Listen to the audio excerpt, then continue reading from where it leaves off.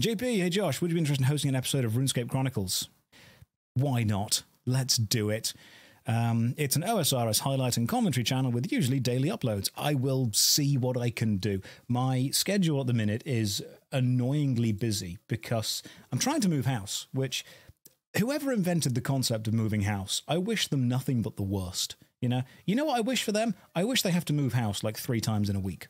That's what I wish. It is the most annoying process that I've gone through. And then you'll get the, the solicitors being like, Mr. Hayes, do you have this piece of paperwork from 80 years ago? I'm like, mate, I don't have anything important from last week. How organized do you think I am?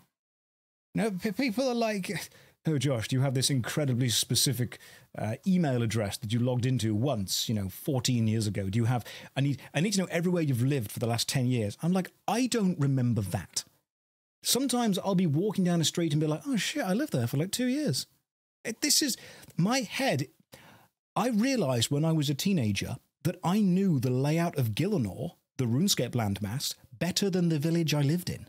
And people would be like, Josh, you're terrible at direction. I'd be like, no, I'm great at direction, but only of places that don't exist. So honestly, when they're trying to be like, oh, we've uh, we need you to get all this really complicated stuff, I don't know. I really, really don't know.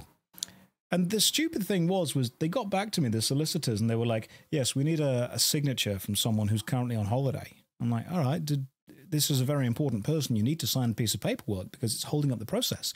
Do they not have a solicitor? Do they not have an attorney? Does someone not have uh, power to say yes in their stead?" And they were like, "Dunno." All right, cool sit here and do nothing then. Be great. Why not? But no, seriously, the process of moving house is um it, it's it's a fun one. It's definitely a fun one.